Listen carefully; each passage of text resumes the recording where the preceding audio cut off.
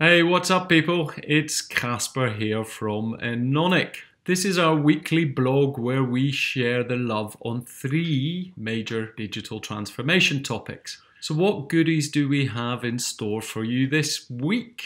First, we have Andrew Froehlich's article, How to Create a Customer Journey Map with a Template. The article looks at how using a customer journey map can help CX teams interpret the data and to understand the failures and successes of sales. He also goes on to cover what is a customer journey map, why it's so important, and gives you six steps to create a customer journey map. Next up is Tim Denning, an Aussie blogger. His post on LinkedIn LinkedIn caught my eye about how the job of the future is content creation. He talks about why it's so important to learn to write, film, record, audio, draw illustrations, or take pictures, basically being creative. How it will help you connect with people, and by starting to create content today, watch where it takes your career. So now you have an answer to why I'm doing this, and I really suggest you follow him. Last up is an article from my colleague Vegard Ottervig and how hybrid is the new headless. Here, Vegard argues argues why hybrid CMS is better than headless CMS and how a true hybrid CMS lets you use it as a traditional CMS or as a headless CMS or as a mixture of both. He also looks at the benefits of a hybrid CMS including lower operating costs, ease of use and richer web experience. That's it for this week. We hope you enjoy our weekly video blog. The links to the main articles are in the comments field below. Give us your love by giving your feedback or suggestions for new content. Keep smiling, and peace.